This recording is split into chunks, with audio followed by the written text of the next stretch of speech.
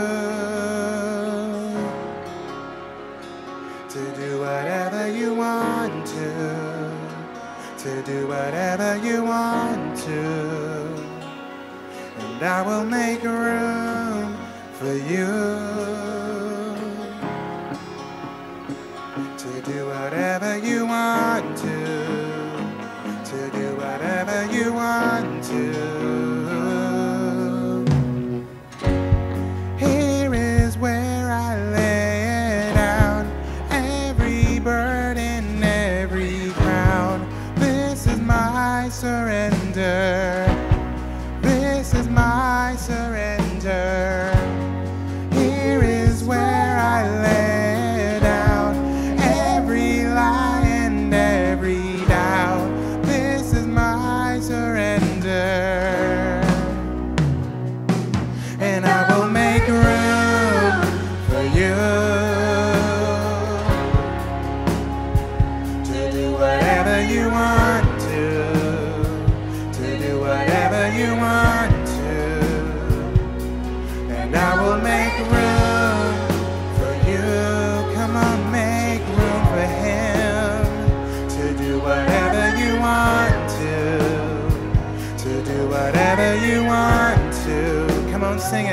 church, I will make room for you. To do whatever you want to, to do whatever you want to. And I will make room for you. To do whatever you want to, to do whatever you want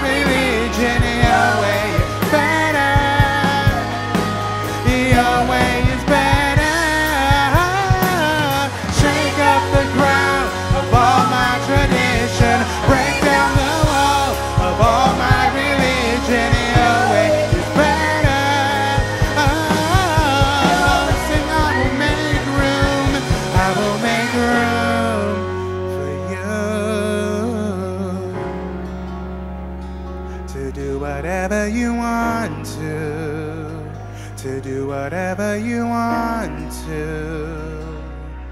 Come on. For you, come on now more than ever. The church needs to make room.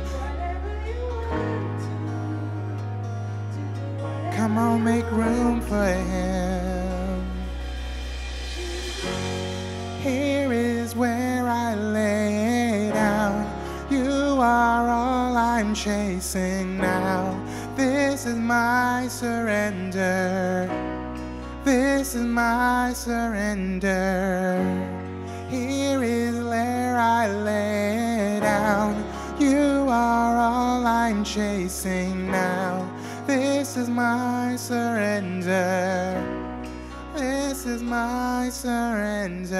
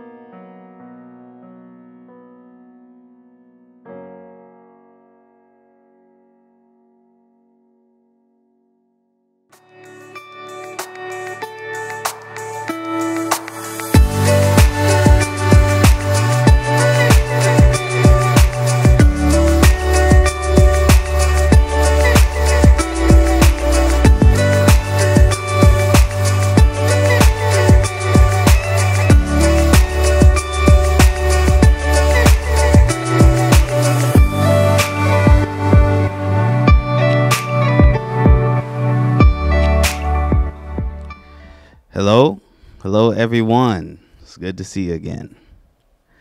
It's good to be here. And for anyone new, I am Brother Sam. Um, before we uh, get on to today's topic, uh, let's go do a quick prayer. Um, thank you, Father, for gathering us together. Thank you, Lord, for blessing us and putting uh, the desire to hear the word in our hearts. Oh Lord, I pray, Lord, that you help us on this straight and narrow path. Lord, that you put love in our hearts, that you put patience in us, that you put loving kindness in us. Oh Lord, give us the wisdom and understanding Lord, to understand your word and to take it in and to use it in our everyday life. We thank you, Lord. And in Jesus' name, I pray. Amen. Prayer is just that simple, folks. You're just talking to the Lord. That's all you're doing. But let's get on to today's topic. Um, Today's topic is called uh, The Lord Will Restore. Yes, He's good like that. He will restore us. And, uh, and what brought me to this was uh, just uh, meditating on the Word, and a thought just came to me about, um, you know, the body of Christ, you know, being discouraged. You know, we deal with a lot of discouragement just, you know, in our everyday lives. And uh, and I think that when we go through discouragement like that, uh, that we forget who we serve. We forget who our Lord is. And that our Lord is a restoring God. Okay? You need to know as long as you are following the Lord, you can't lose anything. Now, you may not get back exactly what you lost, but you will gain other things that will make up for what you lost. Okay? You need to hear that. You may not get back exactly what you lost, but you will receive new things to make up for it. Okay? Okay, family? Okay? When you're with the Lord, all is not lost. For God is sovereign. It says everything under the heavens is His. If God wants you to have it, then you'll have it. And if you don't have it, then that means that you're better off not having it. But let's get to some scripture, okay? Let's read some scripture so that I can prove to you what I'm saying. Let's turn to 1 Samuel chapter 30, verses 3 through 4.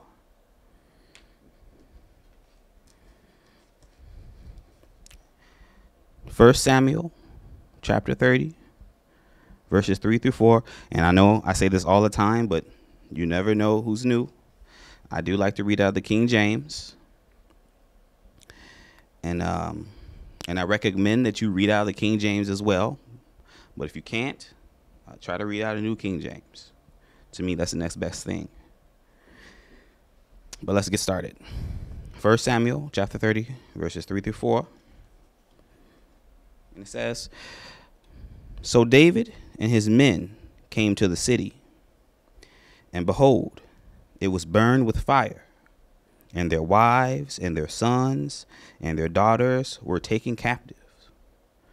Then David and the people that were with him lifted up their voice and wept until they had no more power to weep.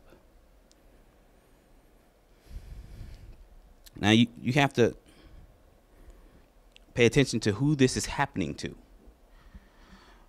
We're talking about David, the Lord's anointed. We know he's anointed, is in the word. God is with him. He's the one that slayed Goliath. We know that David is going to be the future king of Israel. We know that. And we know that David follows the Lord. He seeks the heart of the Lord. He seeks the face of the Lord. We know that. And yet, it says that his enemy came and they took the wives and the daughters and that they wept. Yes, this powerful man of God wept. Now you got to think if it happened to David, how much more so could it happen to us that we lose things? Things that are precious to us. But it's not just what happened to David. We have to pay attention to uh, what did David do? What did David do after he discovered this? The things like this is something that we need to recognize. We need to recognize what do we do when we go through hardships like this. Let's continue. Uh, turn to, well, you're already on chapter 30. Just go to verse 6. Okay? It says, And David was greatly distressed, for the people spake of stoning him, because the soul of all the people was grieved, every man for his sons and for his daughters. Now listen, but David encouraged himself in the Lord his God. He encouraged himself. You hear that? You hear that, family? He encouraged himself. Things aren't going to always go the way you want it to go. But you need to remember who you serve and what he can do. He's there for us, always, no matter what it looks like. It says he strengthened himself in the Lord.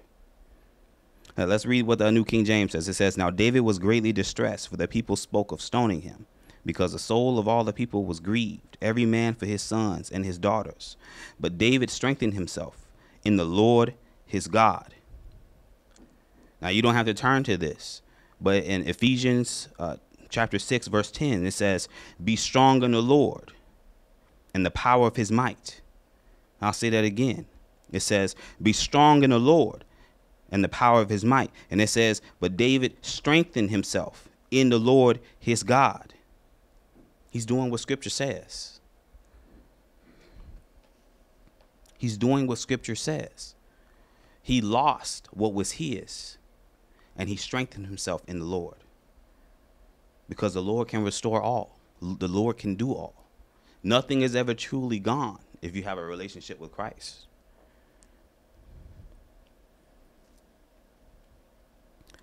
Let's see what else David did. It says 1 Samuel chapter 30 verse 8. So we're still on chapter 30. Just go to verse 8. And David inquired at the Lord, saying, Shall I pursue after this troop? Shall I overtake them? He spoke to the Lord. He went to him, and he answered him, Pursue, for thou shalt surely overtake them, and without fail recover all. Listen to that. It says, For thou shalt surely overtake them, and without fail recover all. Pay attention. God didn't give any direction. He just told David to go. David had to believe that he was going to receive. Okay? Think about that. There was no direction. God just told him to go. And you got to you have to take what's in the scripture and apply it to your life. Most of the time we are discouraged and we have no plans. We don't know what to do. And we just sit. We pray to the Lord, but we just sit. We don't do anything. But the Lord didn't tell David to just sit around. He didn't tell David to just mope around. Come on, this should uplift you. This puts a fire in my belly when I hear stuff like this. When you pray to the Lord, when you pray to the Lord and you're seeking, you don't just sit around. You pray and you get up and you do. I spoke about this before. You're supposed to do all that you can in the power that God gave you. If you have two legs, you get up and you walk. David had to move. So if you're asking for a job, if, if, if you're thinking that you missed out and you're trying to get a new job, you fill out applications. You pray to the Lord and you fill out applications. If you're looking for a husband, well, then you get up and you get out there and you mingle. If you're looking to, for a wife, talk to the women in the church. Okay, if you want a business, well, then you go out and you speak to the right people. It doesn't matter what direction you go in, you do all that you can. You seek wise counsel. You do all your research and you move. God is the one that opens doors and closes them. Somehow, He will navigate you in the right direction. Like I said, it doesn't mean to be haphazard, haphazardly do things. But you end up doing things nonetheless, and He will move you in the right direction. Look, let's continue. Uh, go to verse 11. It says, And they found an Egyptian in the field. Listen to that. And they found an Egyptian in the field and brought him to David and gave him bread, and he did eat, and they made him drink water. So David got up and he started moving. And he found an Egyptian in the field out of nowhere. Now, God is not like us. He doesn't see time one way. He knows the end from the beginning. So when David started moving, he didn't have to uh, push David in the right direction. He put the solution in front of David. It didn't matter if David went north or south or west or east. Whichever direction David went in, from the end to the beginning, the Lord took the solution and put it in his path. See, that's what I'm trying to say. The Lord will restore. The Lord will show up for you. Nothing is lost as long as you seek his face, just as David has done.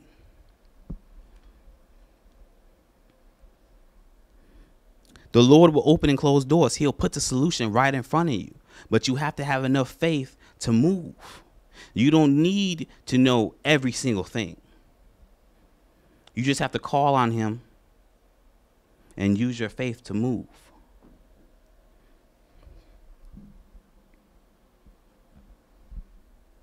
All right, uh, go to verses 18 through 19. I'm kind of running out of time here. I'm trying to get through this.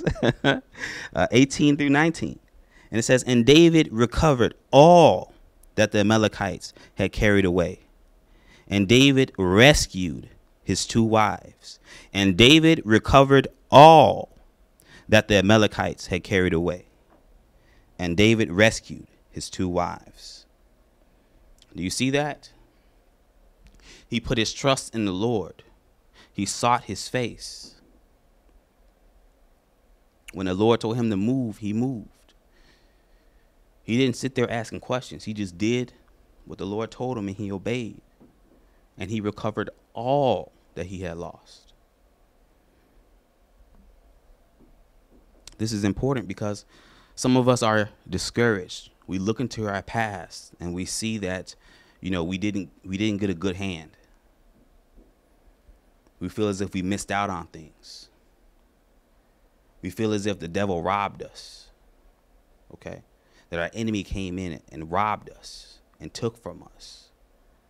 And when we think about the future, it looks bleak. But no, God owns everything under the heavens. Your enemy cannot take from you because we have someone who is uh, greater than him that is in the world. Who is in us is greater than him that is in the world. If God has it planned for us, we will have it. And it says that David recovered all. But I have another message because I know that there are some out there that are discovered, uh, excuse me, that are discouraged because they look in the past and they see that it is them. They they perceive that it is them that made the mistake. It's not that the enemy came in and robbed them as what happened to David. David was doing what he was supposed to be doing. The enemy came and robbed him. But some of us look back in our past and we see and we think that we made um, our own failures. And I have a word for you too. Because you, you're going to see just how good of a God that we have. Turn to Joel chapter 1, verse 4. You're going to see. And this is why I love the Lord. I love the Lord for his character. I love him for his goodness towards us. You're going to see that it doesn't matter.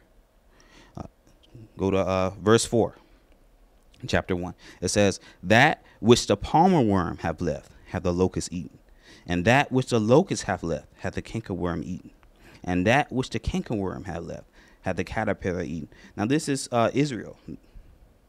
This is the children of God being disobedient. And it says that they lost. They had nothing left. Everything was taken.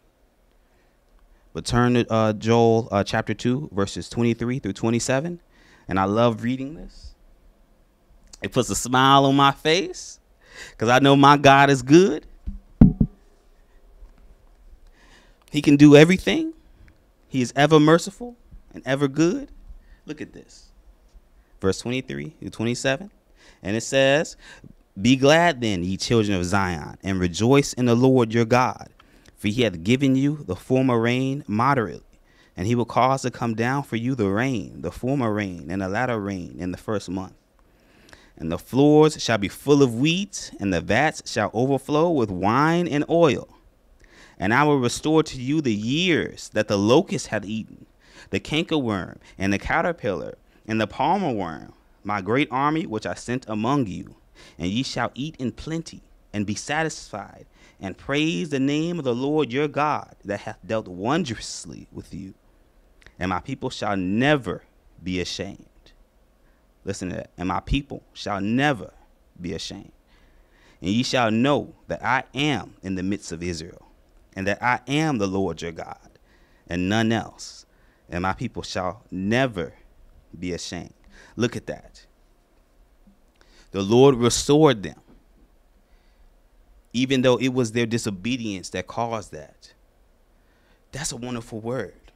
So it doesn't matter if you think that you were the cause or if the enemy came in and took what was yours. God said that either way, He will restore it. Hallelujah.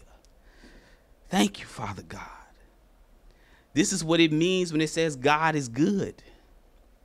He is the light and no darkness at all. He is there for his people. He is there for the body of Christ. That should put a shout in your heart. That is not over. As long as you are breathing, it's not over. You just have to seek the Lord and praise Him and worship Him. It doesn't matter if you think it was your fault. It doesn't matter if just because of unforeseen circumstances you have lost it. And this is important to everyone. This is important to kids, young adults, and grown folk. This is important. Because you need to know that ultimately everything is in God's hands. That He gives, okay? And He allows things to be taken away. You need to know that it's His judgment and His judgment only, and that you are a child of God. You have a special audience with Him, and that He will restore if you just believe in Him. He will restore. So it doesn't it doesn't matter. It doesn't matter if you are suffering from any illness. It doesn't matter if oh, he's just putting this on my heart. It doesn't matter if you are an alcoholic. Okay? It doesn't matter if you're into alcohol. It doesn't matter if you are into uh, uh, recreational substances. It doesn't. It doesn't. It doesn't matter. All you have to do is seek the Lord, and He can restore. But you have to do. You don't. You don't pray and continue to do those things. Okay? You have to put those things down. And you have to believe on God that he will restore. Okay? He can he can change those things. He can reverse those things. So you put down the bottle, you put down those substances, and you go to God. You don't go to those things for comfort. You go to God for comfort. And he will change your future. You hear me? He will change your future. Just as he did, just as he does Israel, just as he did with David. He changed their futures. And like I said, you may not get back exactly what you lost, but you will gain back something more of value than what you lost. Okay? God will restore, He will bless it. It doesn't matter what happened. Your life isn't over, and it's not too late. David said, God is for you. You have to believe that. Oh, hallelujah. Thank you, Father God. You have to believe that. You are a child of Christ, and God is for you. He will restore. It doesn't matter how little you have. It doesn't matter how bleak it may seem. He will bring it back unto you. You got to remember, folks. You have to remember that the Lord is looking to show himself strong in us. It's the word says that he's looking to and fro to see who he can show himself strong in. And he's going to use you to do that. But you have ha- but you have to have enough faith to get up and walk.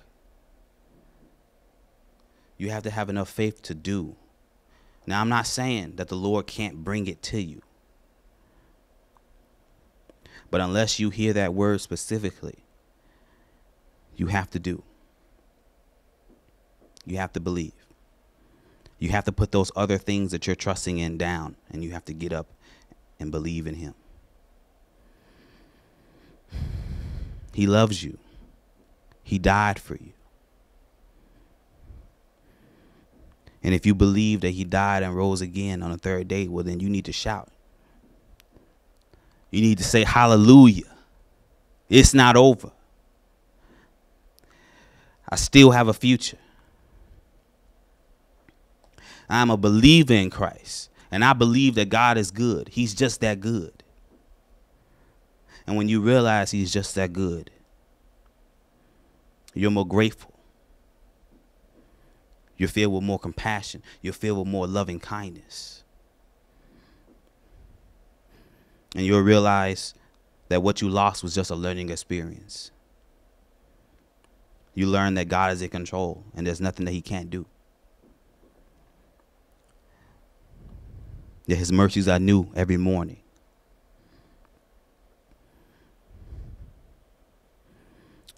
I thank you all. I thank you all that pray for others and trust in the Lord.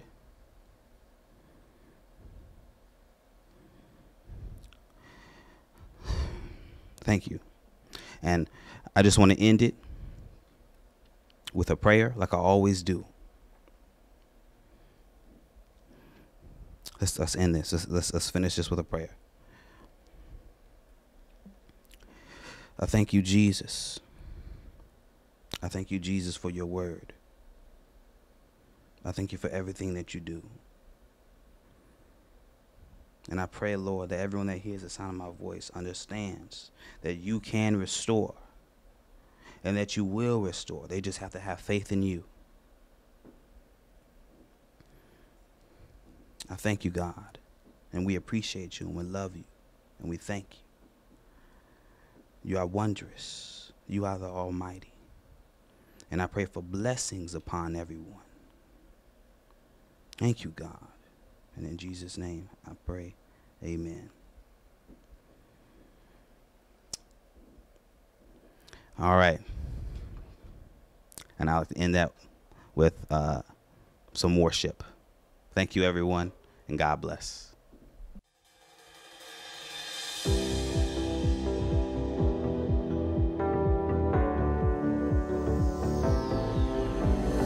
When I was searching, your love was never far. You made a way to get to me. You were the whisper leading me to your heart. Forever I belong to you. Now I can see clearly, my God, you are for me.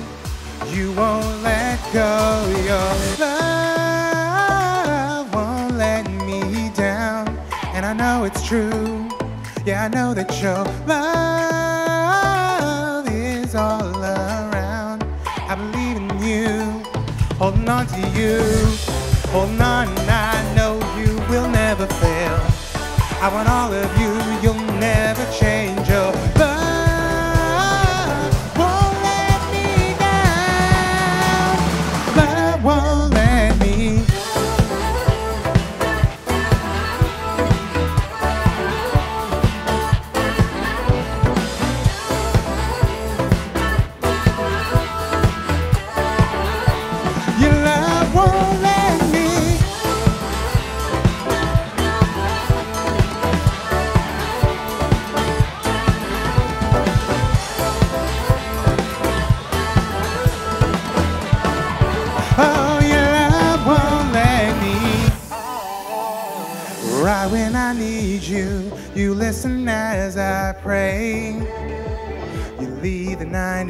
me. You paint the sky with promises of your grace. So I would find my way to you. Now I can see clearly, my God, you are for me. You won't let go. Your love won't let me down. And I know it's true. Yeah, I know that your love is all around. I believe in you, holding on to you, holding on. I know you will never fail. I want all of you, you'll never change. Your love